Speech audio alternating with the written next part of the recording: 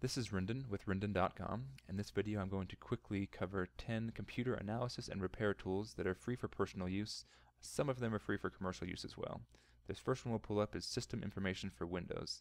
It's also called SIW for short. It's an advanced tool that gathers detailed information about your system's properties and settings and displays them in an extremely comprehensible manner. SIW can create a report file and is able to run in batch mode. It analyzes five main areas. It does a software inventory, a hardware inventory, provides network information and real-time monitors for memory, CPU, and network traffic. It also has miscellaneous tools such as monitor tests.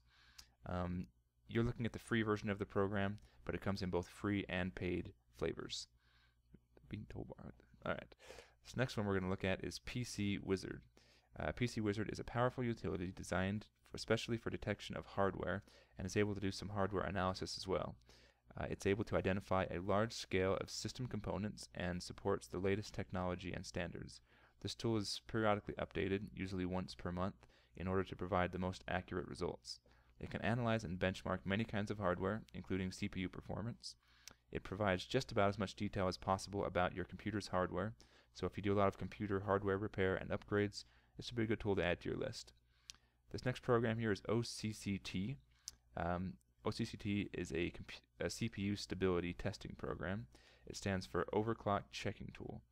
It's free for personal use. There are paid versions of this program as well for commercial use. Um, lots of customizable features on it as far as the test goes. Um, once the test is complete, uh, it will return the test results and reveal a graph showing temperatures and voltages of your computer CPU. So a great analysis tool.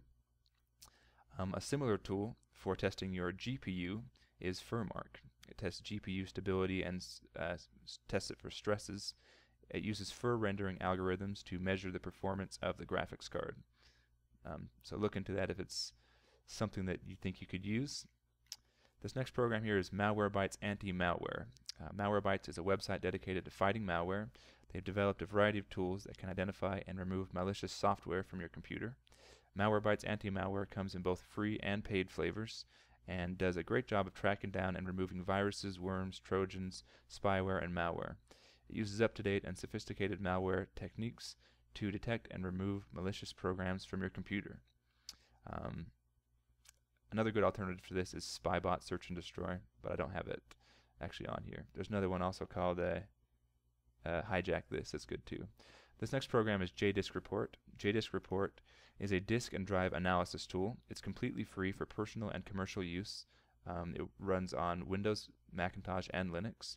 It helps you visualize how much space the files and directories consume on your disk drives, and it helps you to find obsolete files and folders that can be removed to free up space. The tool analyzes your disk drives and collects several statistics which can be viewed as overview charts and details tables. You can browse through the file structure like you normally would and see graphical representations of the space being used. Um, I think I just repeated myself three times there. so excellent tool for locating large areas of wasted drive space. Another similar program that's available for Windows only is this WinDirStat. I'm not quite sure what it stands for, but it's a disk usage statistics viewer and cleanup tool. Um, on startup, it can read either a section or the entire directory tree and then presents it in three useful views. Has the directory list, which resembles the tree view of Windows Explorer.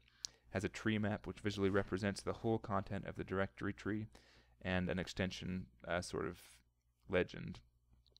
But uh, each square here represents a file, and the colors represents file type. Alright, MyDefrag is a disk defragmenter and optimizer. It's for Windows only. It's completely free and fully functional.